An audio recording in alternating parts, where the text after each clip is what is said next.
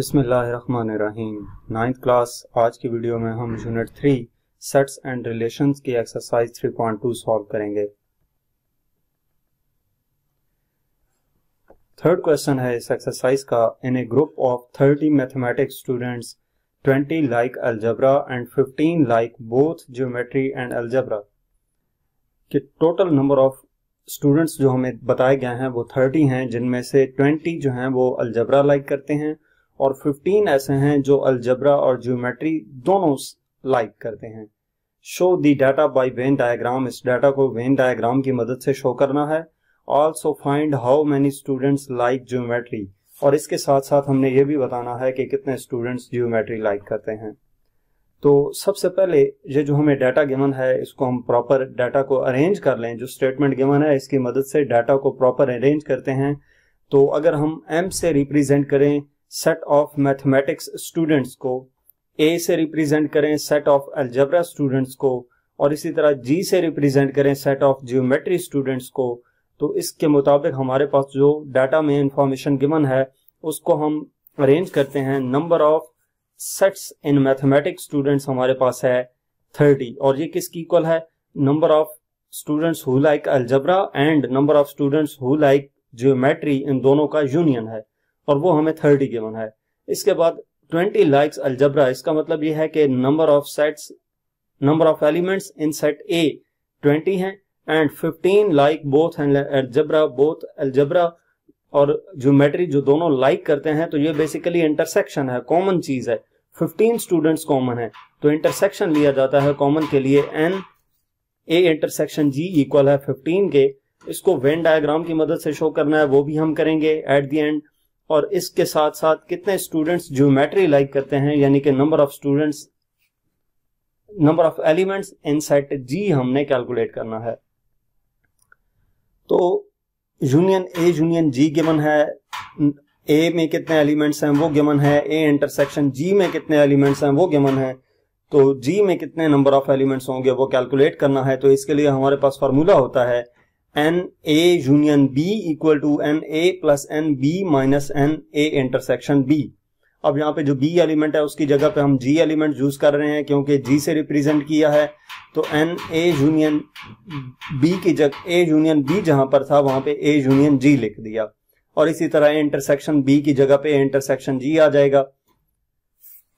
तो इस फार्मूले में, ये फार्मूला आपको मैथ की बुक में गिवन है, ये फार्मूला आपको याद होना चाहिए। इसमें हमने एन जी कैलकुलेट करना है, उसको एक तरफ़ कर लिया, ये और ये टर्म दूसरी साइड पे लेकर जाए तो ये माइनस में आ जाएगी और ये प्लस हो जाएगी। तो आप इसमें वैल्यूज़ पुट कर देंगे। ए यूनियन जी हमारे पास थर्टी है और एन ए ट्वेंटी है n A intersection G fifteen है। वैल्यूज़ पुट करके इसको सिंप्लीफाई करें तो आंसर ट्वेंटी फाइव आ जाता है। इसको जब हम वेन डायग्राम की मदद से शो करते हैं। तो वो जरा देख लेते हैं कि कैसे शो होगा। ये हमारे पास वेन डायग्राम ड्रॉ करने के लिए सबसे पहले आपने एक बॉक्स ड्रॉ करना होता है, जिसको हम यूनियन सेट यूनिवर्सल सेट कहते हैं। उसमें एम से रिप्रेजेंट किया है, जो टोटल नंबर ऑफ़ स्टूडेंट्स हमें गिवन थे, वो लिखे हैं। अब यही ए यूनियन जी के इक्वल है, ठीक है थर्टी तो पहले हमारे पास n A twenty five given है। एन ए से एन ए वाला जो सर्कल हमने ड्रॉ किया है, इसके अंदर टोटल ट्वेंटी फाइव होने चाहिए। ए इंटरसेक्शन जी जो है फिफ्टीन है, यानी कि ए और जी का जो सर्कल है वो ओवरलैप कर रहे हैं और जो ओवरलैपिंग रीजन है वहाँ पर फिफ्टीन आएगा। तो ए और जी का सर्कल हमने ऐसे ड्रॉ किया कि इनके ओवरलैपिंग प्लेस में फिफ्टीन आ गया। अब टोटल ए में ट्वेंटी थे तो फिफ्टीन इधर आ गया, बाकी फाइव रह गया। तो इस तरीके से ए वाले सर्कल में हमारे पास total number of elements twenty आ गया। ये ट्वेंटी एलिमेंट्स आ गया इसमें। इसके बाद number of elements in G calculate करने हैं तो जी में नंबर ऑफ़ एलिमेंट्स कैलकुलेट करने के लिए हमें क्या करना पड़ेगा? 15 ऑलरेडी मौजूद थे, ठीक है? 15 ऑलरेडी मौजूद थे, और 5 ये हो गया 20 तो इधर कंज्यूम हो गया। टोटल कितने थे? 30 तो 20 इधर आ गया, बाकी कितने रह गया? 10 तो वो हमने यहाँ पे लिख दिया। और जब हमने इसको मैथमेटिकली सॉल्व किया था तो number of elements in G 25 आया था, इसका मतलब था है कि 15 प्लस 10 25 ही जी वाले सर्कल में एलिमेंट्स मौजूद हैं। तो ए वाले सर्कल में 15 प्लस फाइव ट्वेंटी एलिमेंट्स हैं और जी वाले सर्कल में 15 plus ten twenty five elements हैं और ए और जी का जो इंटरसेक्शन है, वो वहाँ पर 15 एलिमेंट्स मौजूद हैं। तो ये क्वेश्चन क्वेश्चन नंबर थ्री था जो हमने सॉल्व किया। इसके बाद हम क्वेश्चन नंबर फोर सॉल्व करते हैं। क्वेश्चन नंबर फोर की स्टेटमेंट हमें गिवन है in a street with 50 houses 25 houses 25 houses have lawn 32 houses have carporch and 15 houses have both houses and carporch. Show the data by Venn diagram. Also find how many houses have neither lawn nor porch. केक street में total number of houses 50 हैं total number of houses हमें बता दिए उनमें से 25 house के lawn बने हुए हैं 32 हाउस में कार पोर्च है और 15 हाउस ऐसे हैं जिनमें कार पोर्च और लॉन दोनों मौजूद हैं ठीक है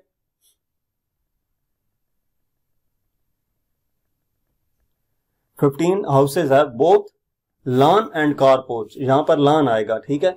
Lawn and car porch lawn भी है और कार पोर्च भी है, यानी कि ये अगर इसको एक एलिमेंट एक सेट का नाम दें और ये number of elements in second set हैं तो इन दो सेट्स का जो इंटरसेक्शन है वो हमें 15 गिवन है। इसकी वेन डायग्राम ड्रॉ करनी है और कितने हाउसेज में ना तो कोई लॉन है और ना कोई पोर्च है, वो भी कैलकुलेट करना है। तो पहले हम इस डाटा को जरा अरेंज कर लें, इस डाटा को नोट कर लें।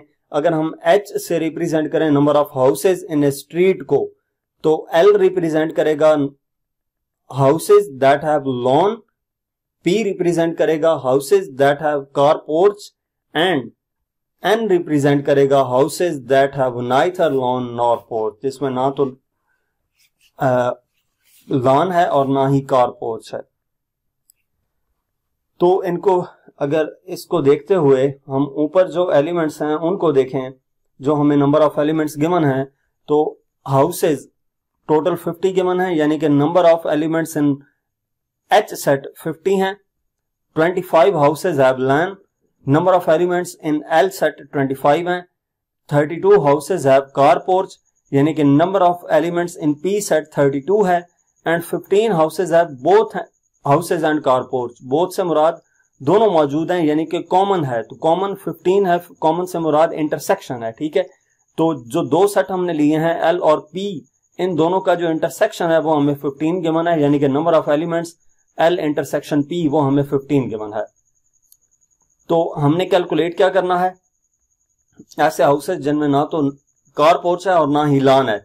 उसको हम number of elements in N represent करेंगे, जो कि एन एल जूनियन पी का कंप्लीमेंट रिप्रेजेंट करेगा। यानी कि L L intersection P L union P का complement yes L union P यानी कि अगर हम एल जूनियन पी कैलकुलेट कर लें और उसको यू में से माइनस करें, यानी कि एच में से माइनस कर लें यूनिवर्सल सेट में से माइनस कर लें तो हमारे पास N number of elements in N आ जाएँगे, जो कि हमें शो करेंगे कि इतने हाउसेज जो हैं, उनमें ना तो लान है और ना ही कार कोर्स है।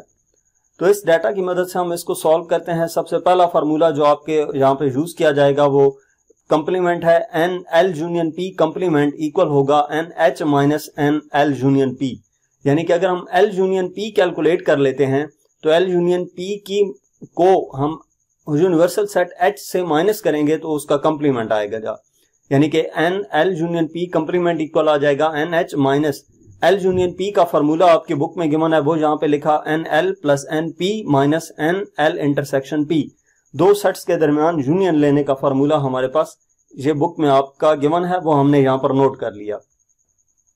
इन तमाम की वैल्यूज़ हमारे पास मौजूद हैं। एन एल यूनियन पी का कंप्लीमेंट हमने डिनोट किया था एन एन से। वो लिखा इक्वल टू एन एच हमारे पास 50 है माइनस एन एल की वैल्यू 25 है एन पी की वैल्यू 32 है, और एल इंटरसेक्शन पी की वैल्यू हमारे पास 15 है। तो इनको सिंप्लीफाई करते हैं। पहले ब्रैकेट के अंदर वाला सॉल्व करेंगे, ये 42 आएगा। 50 में से 42 को माइनस किया तो 8 आ गया। यानी कि नंबर ऑफ़ एलिमेंट्स जिनमें ना तो कार पोर्च है और ना ही लान है, वो 8 हैं। इसको हम वेन डायग्राम की मदद से शो करते हैं। तो ये रेक्टेंगल बना के इसमें एच लिखा है। H basically total number of houses को रिप्रेजेंट कर रहा है। उसके बाद 25 हाउसेज लॉन है 32 हाउसेज कार पोर्च हैं 15 हाउसेज कॉमन है। तो हमने जिनमें कार, पोर्च और लॉन दोनों मौजूद हैं, यानी कि कॉमन एरिया में 15 आएगा, हम दो सर्कल ड्रॉ करेंगे। दोनों सर्कल का जो कॉमन रीजन है, वहाँ पे हमने 15 लिख दिया, ठीक है?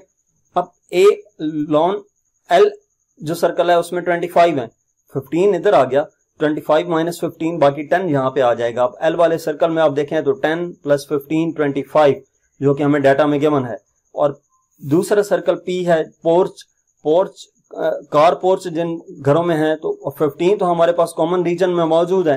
कार पोर्च टोटल 32 में थे। तो 32 माइनस फिफ्टीन बाकी रह गया 17 तो इस तरीके से पी वाले सर्कल में हमारे पास 15 एंड 17 इंक्वायर्ड करें 32 नंबर ऑफ़ एलिमेंट्स आ जाते हैं नंबर ऑफ़ हाउसेज आ जाते हैं।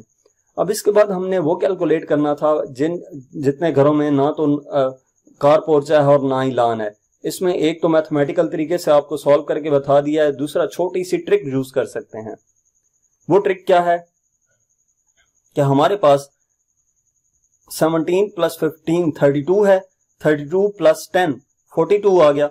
ये 42 जो है, इसको h number of elements h जो थे, वो 50 थे। 50 में से 42 को माइनस किया तो 8 आ गया। तो हमने एक सेपरेट सर्कल ड्रॉ किया, जिसको n से रिप्रेजेंट किया, क्योंकि हमने ये डाटा में बताया था कि n उस डाटा को रिप्रेजेंट करेगा, उन नंबर ऑफ़ एलिमेंट्स को रिप्रेजेंट करेगा, जिसमें ना तो कार पोर्च है और ना तो हाउसेज हैं। तो वहाँ पे हमने उस सर्कल में एट लिख दिया। ठीक है? तो यहाँ तक हमारा क्वेश्चन नंबर फोर है। आज की वीडियो आपने देखी मजीद एक्सरसाइज के सोल्यूशन देखने के लिए हमारा चैनल विज़िट करें। इसके अलावा अगर आप किसी भी सब्जेक्ट की ऑनलाइन जो हम ट्यूशन पढ़ना चाहते हैं तो हमसे व्हाट्सएप पे कांटेक्ट कर सकते हैं। Thank you